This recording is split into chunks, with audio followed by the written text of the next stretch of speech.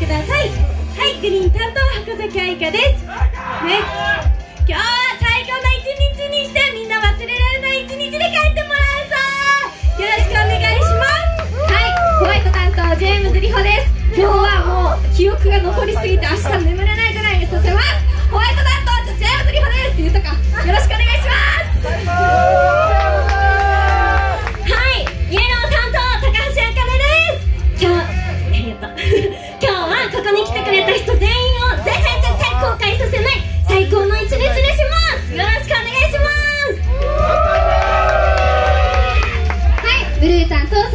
坂本梨沙です今日はいっぱいたくさん一緒に思い出作ろうねお願いしますはい、レッド担当和田蘭ですここにいるみんなランのこと好きになっちゃえばええやってぐらい思ってます今日よろしくお願いしますはい、パープル担当、カズマヒロノです。ここにいる、もう渋谷にいる、もう日本にいる、世界にいる誰よりも幸せにします。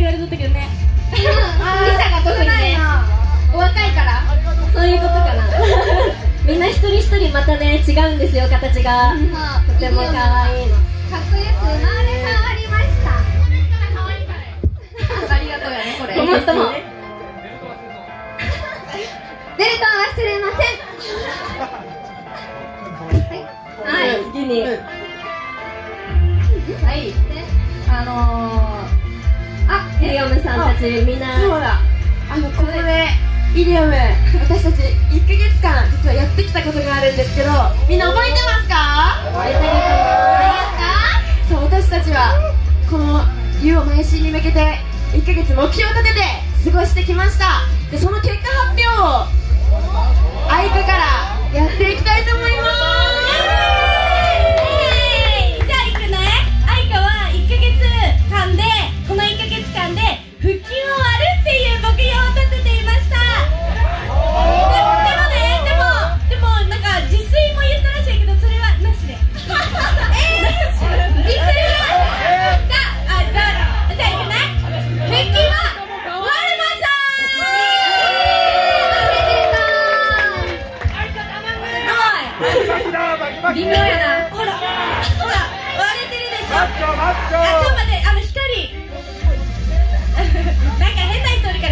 から次行きましょうジャムちゃん行きましょう私なんですけど12あワンマンライブまでにカラオケで95点取るという目標だったんですけどなんと最高得点は88点でした。頑張った偉いすごい成長したでもね聞いて。じゃあもともとねリホ79点やったから。でその後ね88が上がったからえすごい。それほぼビヨンセやね。ビヨンセ。かっこいい。だからまだまだあと1ヶ月リホまだ95点狙ってるので頑張ります、頑張って頑張ってはい、えー私はワンマンまでに100キロ走り切るという目標を、えー宣言したんですけれど無事達成できました。見てほしいんだけどさ見てこのふくらはぎの筋肉。すごくない？すごくない？すごいね。頑張りました。みんな応援ありがとうございました本当に。はい、えっ、と、私はワンマンで可愛い姿を見せるために、えっ、と、3キロ痩せるっていうのを、えっ、と、目標にしてたんですけど、なんと、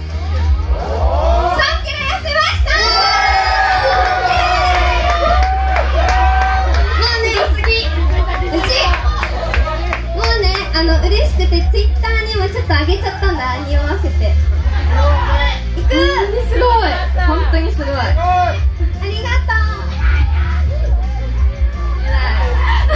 はい、私は、えっと、カバーダンス動画を10本投稿するっていう目標を立てたんですけど、皆様のおかげで無事達成できました！ありがとう。そうみんなコメントとかいいねとか毎日してくれて本当にあのー、この今後もランのアカウントをぜひチェックしてくれると嬉しいです。お願いします。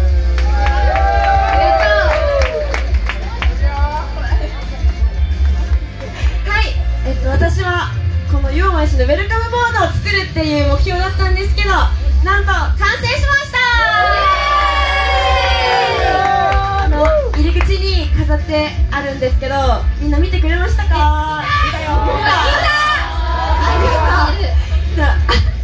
ちゃんと意味を込めて書いたのでもし皆さんよかったら見てくださったら嬉しいです。よろしくお願いします。よろしくお願いします。はいでは早速次は、えー新曲みんなお待ちかねの新曲を披露させていただきます、えーこの楽曲は本当にみんないつものイディオムとはちょっとガラッと雰囲気が変わる感じで強くてかっこいい感じもするしくちょっと儚く切ない感じの恋心を歌った楽曲になってます。メンバーの表情だったりパフォーマンスそれから歌詞に注目して一緒に楽しんでくれたら嬉しいです。はい。みんな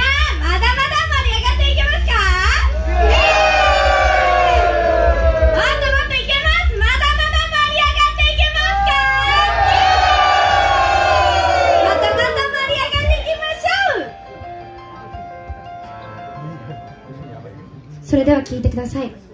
せめて散るときはあなたのそばに。恋は冬を越え桜のように春を待ち胸を焦がすでしょ。う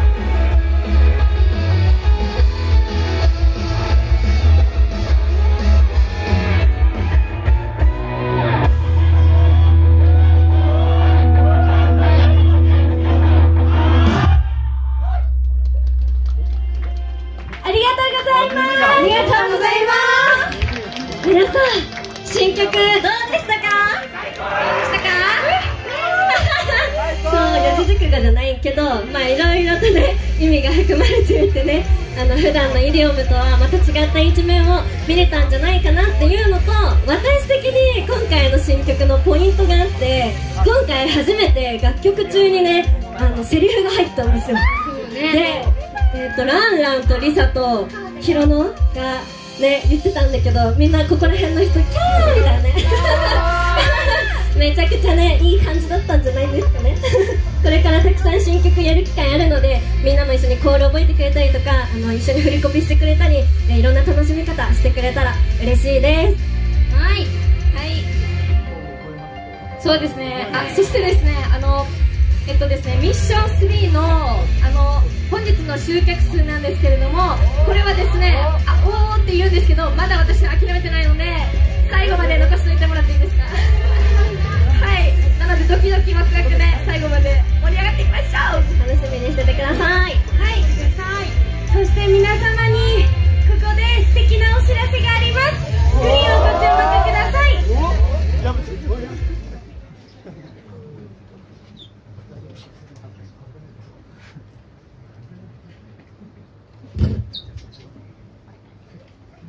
泣くなよ。泣かないよ。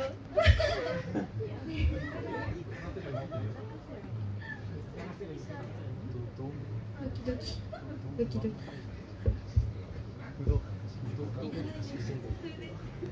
じらすねやばいじらしやや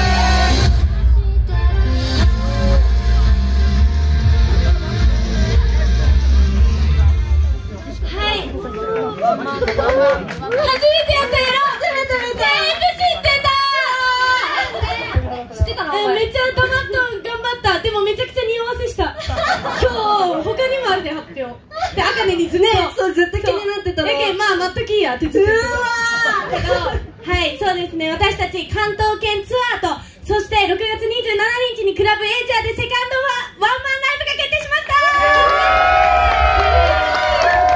マジで嬉しいえでね関東って言えばあのあかねんとねリサが初めての凱旋ライブなんですよ。まあ千葉千葉千葉。近くだけどそう。どう？ね、嬉しい。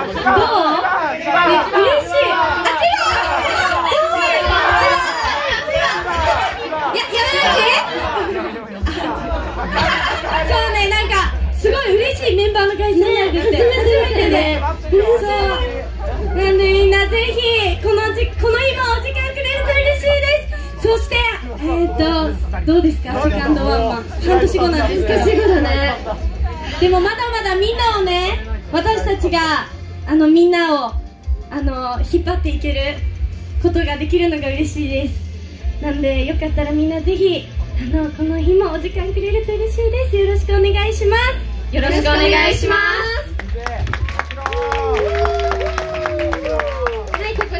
で早速なんですけれども、みんなでお写真撮りたいです。みんなで、スタッフさんお願いします。お願いします。あ、ね、そうだ結構ね。さなんかさそう本当にさなんかね女の子とかちっちゃくてね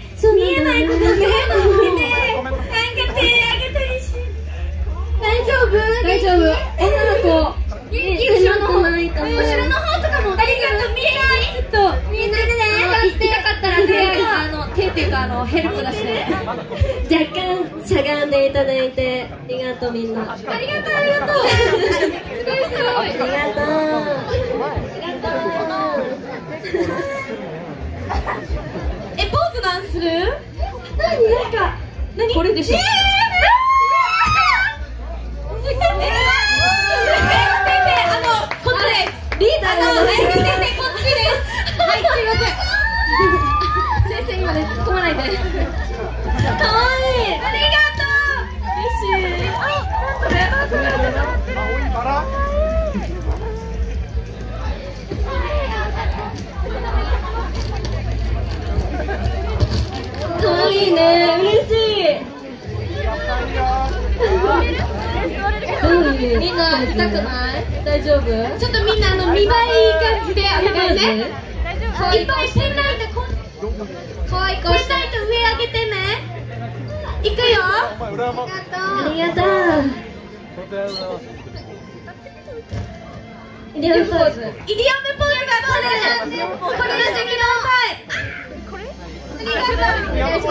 可愛い顔して。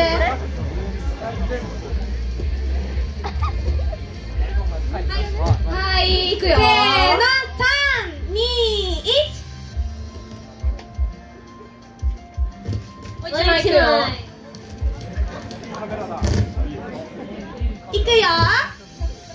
いくよ。三二一。もう一回。三二一すありがとうございます。ありがとう。ありがとう。ありがとう。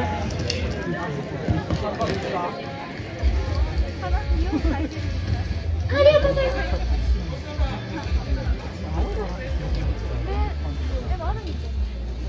すすごく嬉しい嬉しいねお花束いただけると思ってなかった待って終わりたくなさすぎるねあれ誰も聞いてな聞いてなかった聞いてるありがとうはい改めて本日12月2日私たちの大切な時に皆様の大切な時間を作ってくださりありがとう。ございましたあ間違えた終わっちゃったありがとう。ございますありがとう。ございますはいなんか思い返せばちょっと私たち6人結構いろいろあったんですよね。あったね。あのこれを言ったら泣いちゃうので、まあ、言うんですけどえっと6人がねなんか1回バラバラになりそうになった時がありました。あったあったね。で、はい、もうなんか泣いめっちゃ泣いてなんかほぼお別れの会みたいなのもしたよね。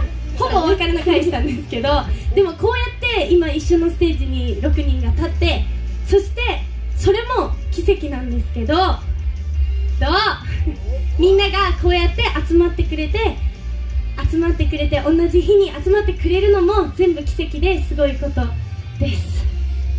えっと私は3年前に一度アイドルを辞めてもうアイドルはしないって決めていたんですけどきっかけがあってまたアイドルをやりたいなって思った時にオーディションを受けたのがイディオムでした。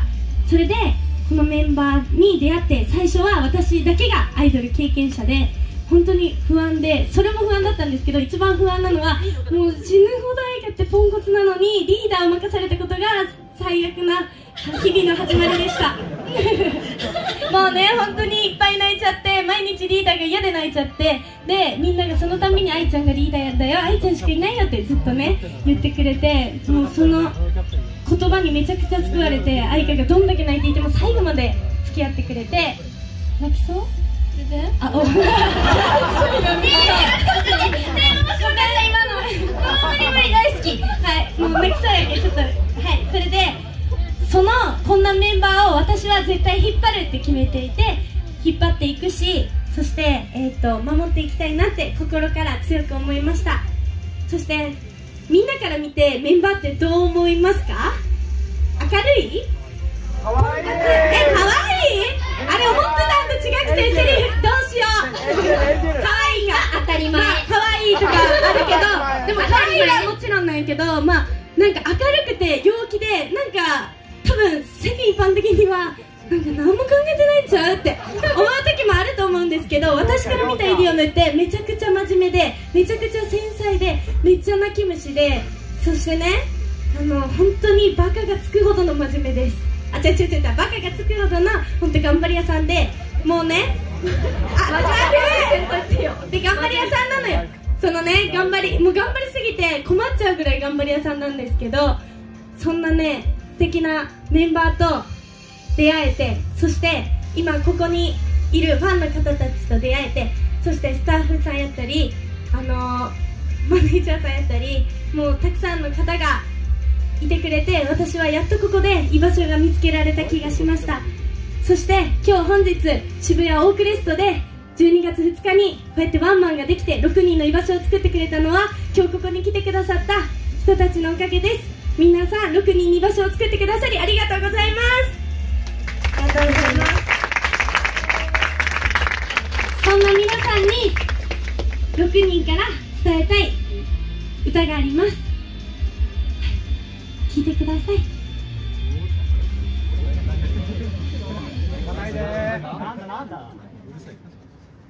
新曲「手のなる方へ」